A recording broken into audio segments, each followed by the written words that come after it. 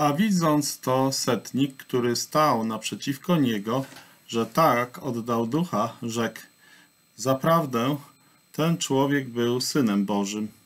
Ewangelia Marka, 15 rozdział, 39 werset. Zaprawdę ten człowiek był synem Bożym, powiedział rzymski setnik. Być może pierwszy raz w swoim surowym żołnierskim życiu odczuł przepełniający go strach. Tak to ukrzyżowanie wciąż było inne niż zwykle. Całkowicie inne. Rzymianin odczuł to bardzo dobitnie. Przebiegało ono nadzwyczaj osobliwie, aż do końca. Jedną z tych osobliwości było to, że ukrzyżowany krótko przed śmiercią dwa razy głośno wołał, zawołał.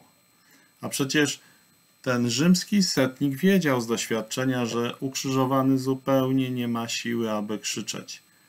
Jednak ten człowiek zawołał donośnym głosem w otaczającą go zewsząd ciemność.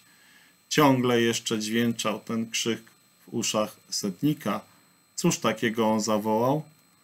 Boże mój, Boże mój, czemuś mnie opuścił?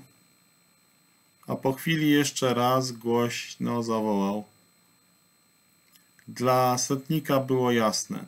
To nie był głos umierającego, który tak często wcześniej słyszał. Ten ukrzyżowany nie był przestępcą. To stało się dla niego jasnym. Całkowicie przeciwnie, on był dobroczyńcą. Co on powiedział krótko po tym, gdy żołnierze przybili go do krzyża? Ojcze, odpuść im, bo nie wiedzą, co czynią. Zamyślony i cichy spoglądał ów Rzymianin w stronę środkowego krzyża. On i jego ludzie musieli jeszcze jakiś czas zostać na tym strasznym miejscu, aż dwaj pozostali ukrzyżowani umarli.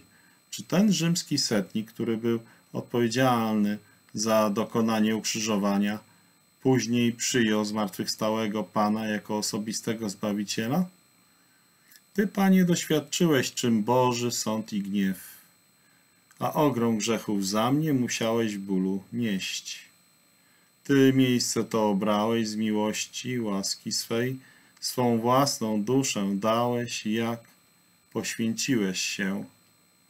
Jacques Ern 1825-1883